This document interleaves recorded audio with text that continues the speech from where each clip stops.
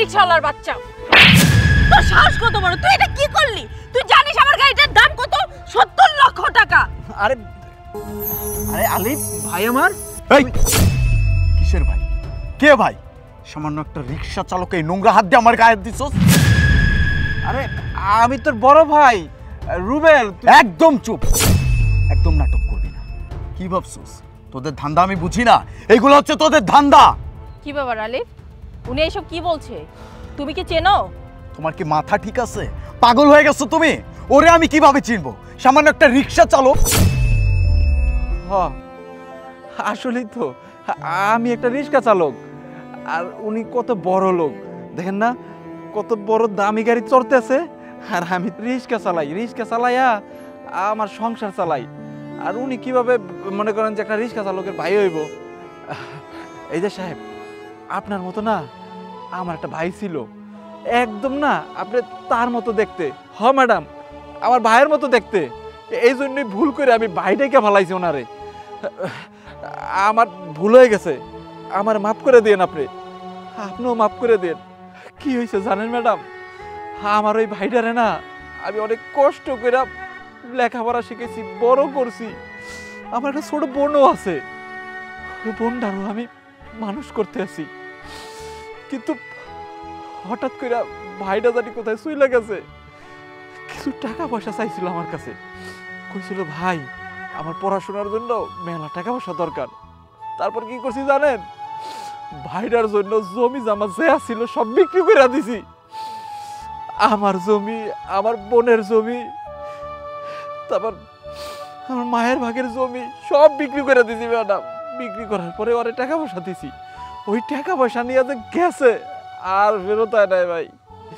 আর কোনোদিন আমারও দেখতে নাই, আমার মায়েরও দেখতে যায় নাই, কাউরে দেখতে নাই, ছোট্ট বোনটারও দেখতে নাই। আমার মাটা অসুস্থ ঠিক মতো ওষুধ কিনে দিতে পারি না। রিক্সা চালাই এখন কয় টাকা পাই?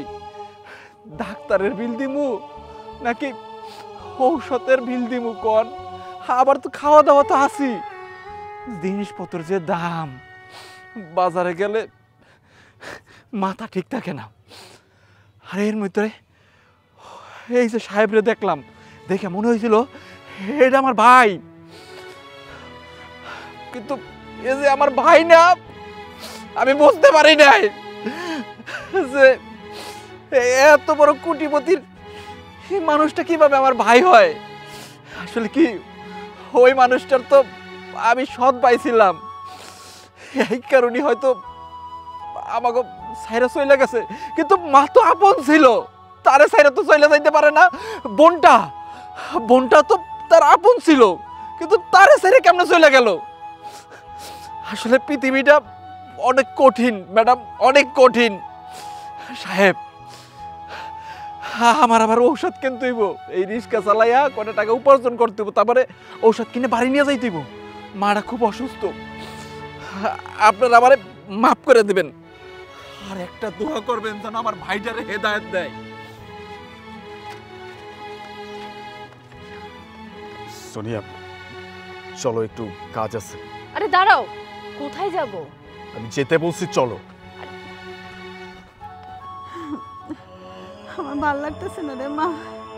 রুবেল কোন সময় আইব? কই গেছে ও মা এমন করতেছো কেন? তোমার কিছু হইব না। ভাইয়া তোমার লাগে ওষুধ নিয়ে আইব। ঠিক হয়ে যাবে চিকিৎসা করব আমরা তোমার। রুবেল রে রুবেল আমার দেখতে মন চাইতেছে। ভাইয়া এখনই চলে আইব। তুমি এমন করো না ভাই ওষুধ নিয়ে আইব। ওই যে ওই যে ভাইজান চলে আইছে। এই তো মা। ভাইজান দেখো। বাবা কই গেছিলি রে?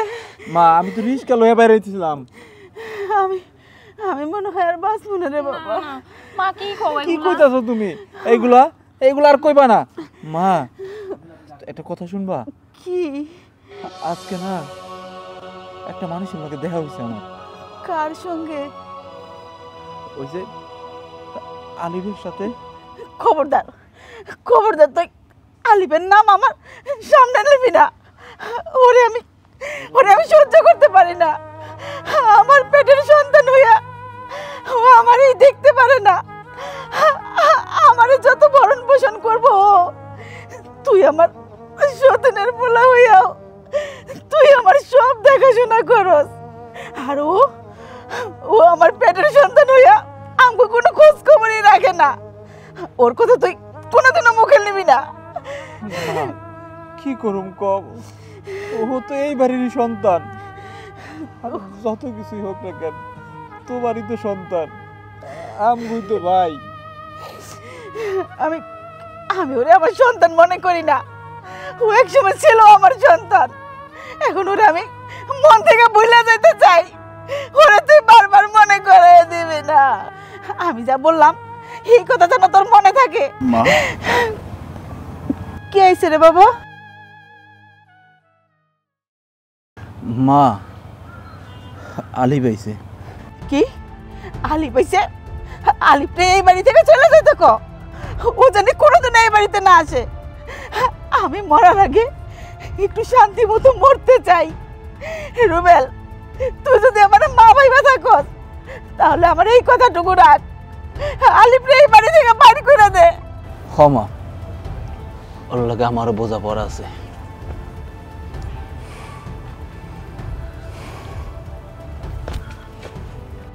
কি ব্যাপার, সাহেব? আপনি হঠাৎ এই বাড়িতে, এই বাড়ি তো মনে হয় না যে আপনার কোনো আত্মীয় স্বজন আছে। আপনারা তো কোটিপতি, কোটি টাকার গাড়িতে চড়েন। আপনিও সাহেব, কিন্তু হঠাৎ করে এই বাড়িতে কেন আপনি? আরে আরে আপনি কাঁদতেছেন কেন? আমরা গরিব। আমি রিস্কাওয়ালা, এটা আমার মা, তার আমি সৎ ছেলে। ওটা বোন। তারও আমি সৎ ভাই। আমি একজন রিক্সা চালক। কিন্তু তারা তারপর আমাকে নিয়ে গর্ব করে। আর আপনি, যারে আমি কোলে পিঠে করে মানুষ করেছি, যারে এই দু হাত দিয়ে আমি খাইয়ে দিয়েছি, যার কারণে আমি জায়গা জমি সব কিছু বিক্রি করে দিয়েছি তার লেখাপড়ার জন্য। আর সে শহরে গিয়ে অলরেডি বিয়ে করেছে। এদিকে যে মা মৃত্যুর সজ্জায় বোনের লেখাপড়া হচ্ছে না। আরে আমি তো মানুষ। একা মানুষ আর কত পারি? আজকে আপনি যে কাজটা করেছেন, আপনার সামনে এই মেয়েটা আমার গালে থাপ্পড় মেরেছে। তার লক্ষ কোটি টাকার গাড়ি আমার রিস্কার সাথে লেগে গেছে। আসলে কি ভুলটা কি আমার ছিল? আমি তো রিস্কা চালিয়ে আসছিলাম। আপনি তো পাশ কাটিয়ে যেতে পারতেন, কিন্তু না, দোষটা আমারই ছিল। আপনি আমার গালে থাপ্পড় বসিয়ে দিলেন। আমি তাতে কিছু মনে করিনি। বিশ্বাস করেন, আমি তাতে কিছু মনে করি নাই। কিন্তু যে আঘাত আমার ভাই আমাকে দিয়েছে সেই আঘাত আমি কি করে বলব? ভাই আমার অস্বীকার করছে নিজের মুখে, আমি তার কিচ্ছু লাগি না। একটা সামান্য রিস্কলা তার ভাই কীভাবে হয়?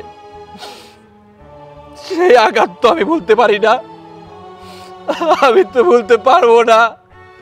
আপনি বলেন, নিজের ভাই যদি তার ভাইকে অস্বীকার করে, তাহলে আপনি কি করবেন? এই ভাইটা এই ভাইটা আমার ভাই হয়তো সৎ ভাই। আমি কখনো তাকে সৎ চোখে দেখি নাই। আমার নিজের আপন ভাই হিসাবে দেখেছি।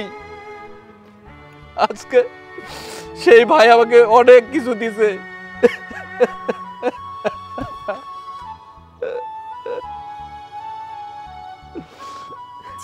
ছি লজ্জা করছে না তোমার? আমি তো ভেবেছিলাম তুমি খুব ভালো একটা ছেলে। বিয়ে করেছিলাম তোমাকে। এখন কি দেখছি? এতটা খারাপ তুমি, নিজের পরিবারকে তুমি অস্বীকার করছ? তখন যে আমি ওনার গায়ে হাত তুলেছিলাম, তখনই তো তোমার বলে দেওয়া উচিত ছিল। উনি তোমার বড় ভাই। আমি কি করলাম? তোমার বড় ভাইয়ের গায়ে আমি হাত তুলেছি? আর সে তো তোমার সৎ ভাই। দেখো, সৎ ভাই হয়েও তোমার মাকে, আপন মাকে, তোমার আপন বোনকে কি করে আগলে রেখেছে? আর তুমি?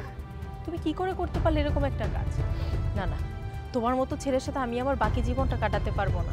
আজকে তুমি তোমার ফ্যামিলির সাথে এরকম করেছ? তোমার ফ্যামিলিকে তুমি ঠকিয়েছো। কালকে তো তুমি আমাকে ঠকাবে। আমার সন্তানকে ঠকাবে। আমি পারব না। তোমার মতো একটা স্বার্থপর ছেলের সাথে আমি সারাটা জীবন কাটাতে পারব।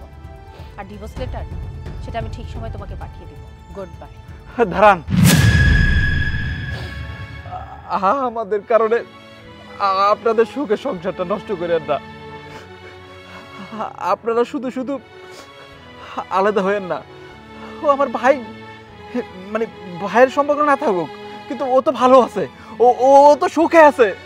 আমি তো বলতে পারব যে আমার ভাইটা ভালো আছে সুখে আছে একটা জায়গায় আছে। সেই সম্পর্কটা নষ্ট করেন না।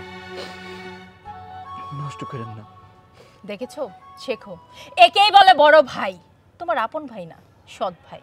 তারপরও তোমার সংসারটা বাঁচানোর জন্য কীভাবে আমার কাছে ক্ষমা চাচ্ছি?